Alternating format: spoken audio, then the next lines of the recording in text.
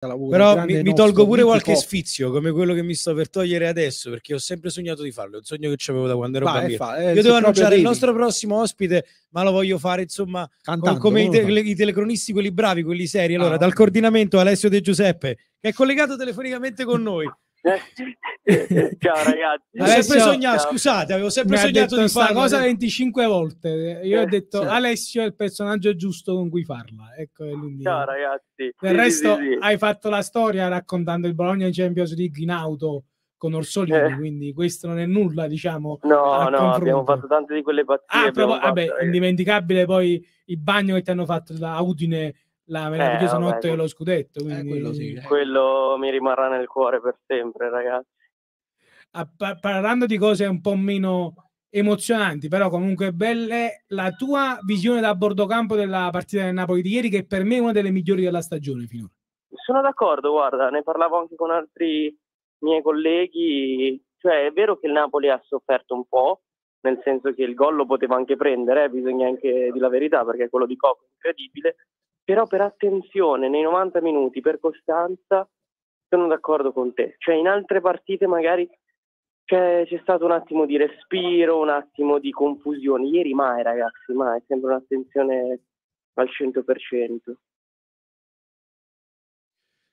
Alessio, eh, tu eh, insomma hai fatto anche questo colpo, tra virgolette, giornalisticamente parlando. Sei andato a recuperare, non so se l'hai recuperato tu di persona o, o, o te l'hanno dato, però... Me lo sono fatto recuperare, però l'ho tenuto d'occhio da quando è entrato ecco, in campo, esatto. visto dove era caduto e me lo sono fatto andare a prendere. Ho, ho percepito uh, dalla TV, ho visto la gara in TV, appunto la tua curiosità no? per questo pizzino, come ormai vengono chiamati, non nel senso chiaramente malavitoso del termine, eh, eri curioso di vedere cosa c'era scritto, poi lo hai fatto, lo hai fatto vedere e quindi eh, questo assetto tattico che Conte ha dato uh, ad Anghissà, secondo te perché Conte ha, sentito il bisogno di eh, far leggere questo messaggio e, e, non semplicemente comunicare a Spinazzola? A Napoli la chiamiamo l'imbasciata, cioè la, eh, l'informazione. Come mai secondo te Conte eh, ha voluto invece scrivere con, con, il suo pugno il pizzino e lo ha portato in campo e farlo leggere ad Anghissà?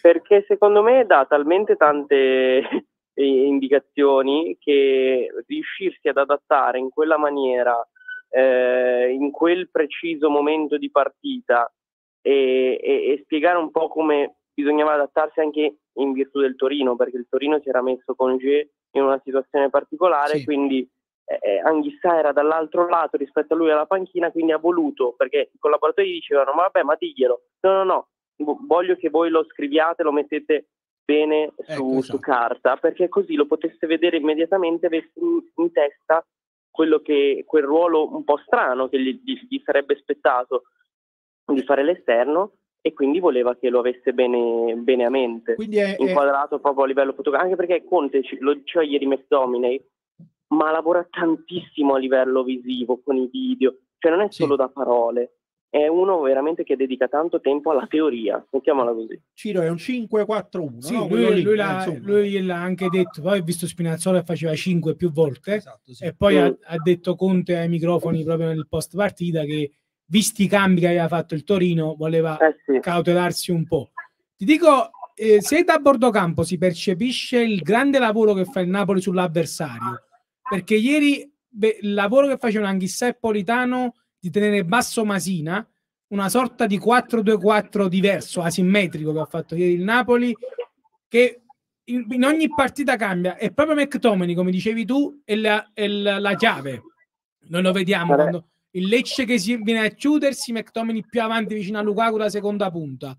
A Milano il duello con Barella. Ieri questa mezzala che ha fatto molto più lavoro di palleggio e dentro la partita sì, sì. che di attacco alla porta avversaria, nonostante abbia fatto gol. Si, si vede proprio forza, questo lavoro. È la forza del Napoli di quest'anno, secondo me, Ciro, nel senso che eh, si adatta all'avversario e, ed è un Napoli camaleontico anche dal punto di vista del, dell'approccio proprio alla partita, cioè eh, sa, eh, evidentemente c'è anche eh, un lavoro più profondo, avendo la possibilità in settimana di lavorarci di più, magari rispetto alle altre, di studio dell'avversario. Quindi il Napoli ci arriva pronto alla partita. E, ed è quello che ci dicevano i giocatori del Napoli nell'anno di Spalletti.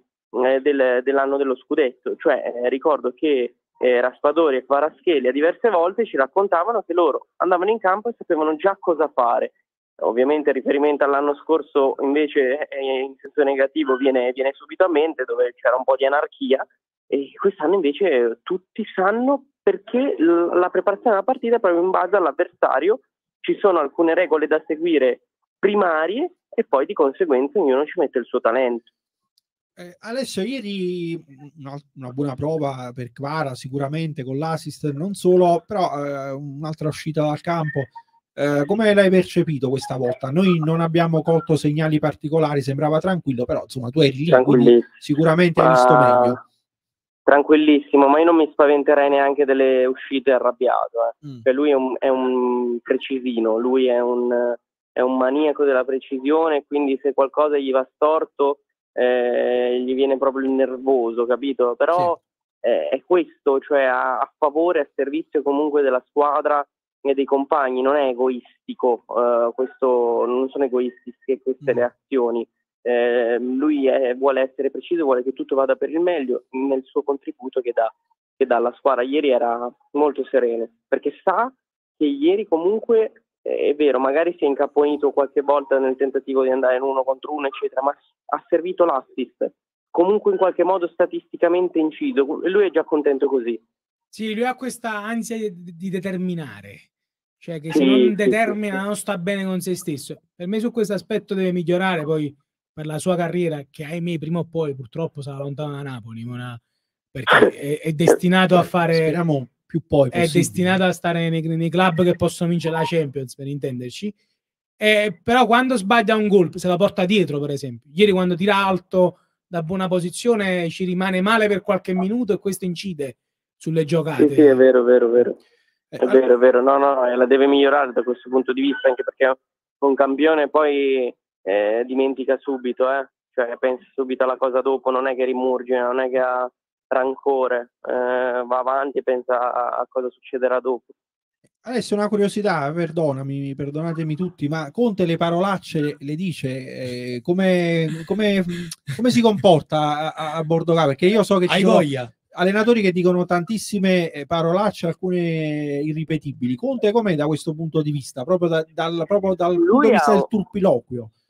Sì, ha un lessico tutto suo, nel senso mm. che a volte storpia le parolacce ah, okay. e mh, ogni tanto si lascia andare. Eh, qua abbiamo uno dei però... più grandi imitatori d'Italia. Eh, Alessio, ma come sei diplomatico? Cioè, voglio dire... Eh, lui le storpia proprio, ah, le, okay che, cioè, le, le, le, le fa, non so, uso delle parolacce tutte sue, ma anche non sono neanche parolacce perché ah, eh, non saprei come definire, non, so, non, so neanche farti un esempio, però sono modificate eh, quindi. Sono un po' modificate ah, perché bene, beh, è arrabbiato ma non troppo, capito? Cioè, ah, okay. a che significa? Eh, eh, non lo, ma che significa? Eh, non lo so. Guarda, c'è un video sui social dove c'è lui che fa entrare Mazzocchi e dopo tre secondi dice Pasquale, dove cazzo vai? cioè, proprio roba, una cosa incredibile. Il tempo che l'ha fatto entrare non è neanche entrato nel campo, non ha neanche fischiato l'arbitro per riprendere il gioco. Pasquale dove bip vai vabbè insomma c'è di peggio però Alessio hai sentito di peggio uh, voglia ah, voglia penso che hai fatto il bordocampo da Roma di Murigno puoi fare tutto nella vita no? Sì, ma lì non era tanto lui quanto la panchina intera, eh, lo staff che aveva dietro. Eh. Mamma mia quanto parlava ragazzi, una roba, allora, mia, un Alessio, casino su quella panchina. Perdonaci, eh, non voglio fare l'indiscreto, chi è l'allenatore che dice più parolacce in assoluto? allora, fammi pensare.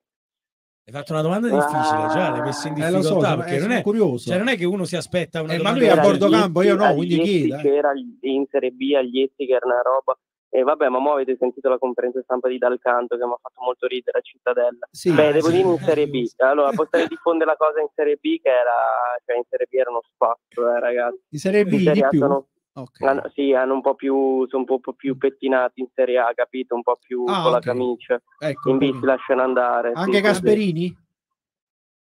E no, dipende. No, non l'ho, non l'ho fatto lui a bortocampo. Ah, ok. Ti manca. Allora, allora facci sapere con Gasperini. Ci stanno bombardando Gas- dalla chat. Ah, eh. Gasperini, Gasperini, avevo sì. capito. Sì, no, no, Gasperini. Ah, okay, Gasperini. No, Gasperini, mm, Gasperini urla. Urla, ah, okay. urla in continuazione. Cioè, proprio, eh, anche lui no. Diciamo che non è sempre sento eh, Alessio dalla chat ci suggeriscono Sarri sento un po' di diplomazia nelle parole di Alessio lo capisco perfettamente perché poi ha, eh, ha ma che fare lavoro domenica poi Eh, ragazzi. se- esatto, a questo esatto. punto ti faccio il Eh. CT della nazionale, tanto la nazionale non la fai e quindi dimmi Spalletti su un'educazione disarmante. Allora, disarmante veramente eh, Eh, ragazzi. quindi Spalletti non dice parolacce. Cioè oddio ogni tanto sì Dai, dai, eh, magari- perché il cast lo usa spesso. Eh. Però, però in- in- mediamente è tra quelli meno.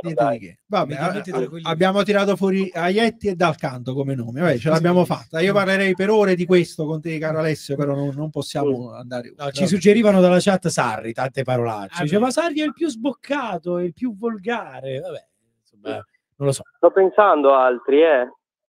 Ma ce ne Ma- sarebbero, sì. Sarri, Sarri l'hai fatto tu? ah sai chi? Sai chi? Zanetti Del Verona? ah, Ah, ah, però, vabbè, però quello eh. è bestemmia, mica, no, cioè, oltre a dire parolacce è bestemmia. però posso, occhio aspetta però se- Zanetti gli voglio bene dell'anima eh Le Cioè, bestemmie sono a veramente- rischio squalifica. no no eh, io parlo, io No, parlo no, di so parole parolacce. Eh, ma no infatti, no di un po' di, di, di- di- di sfoghi diciamo chiamiamoli così però Ecco. gli voglio un gran bene a Zanetti perché veramente certo, cioè, certo. è come se fosse un nostro amico che no non è vero è brutto detto così è innanzitutto un grande professionista ed è bravissimo però cioè, è, è- umanamente è molto vicino a noi esseri umani capito cioè è una persona umile e straordinaria secondo me Sì, eh, sì, nel- parlarci- nella comunicazione. Anche la famosa cosa che ha detto ora, anch'io non vedo, i miei figli mi dicono dov'è papà sì. sul ritiro del Verona, eh, è molto umano. poi è, è- è Vicentino ragazzi. se non ricordo male Zanetti Sì, quindi sì, da, sì, da sì. buon Veneto insomma le- ci sta dice Beh, oh, tante, eh, tante ragazzi, parolacce eh, voglio dire. eh. va bene vabbè, ce l'abbiamo fatta allora Paolo Zanetti è l'allenatore che dice più parolacce in Serie A Alessio non ci ha detto niente abbiamo ricostruito No, niente, no, no. eh? va bene va grazie Alessio Grazie. e Giuseppe. ciao ragazzi Ciao, ciao, ciao, Alessio, grazie, grazie, grazie. grazie Alessio e Giuseppe dopo questo delirio eh, dove abbiamo parlato di, Oh, degli allenatori più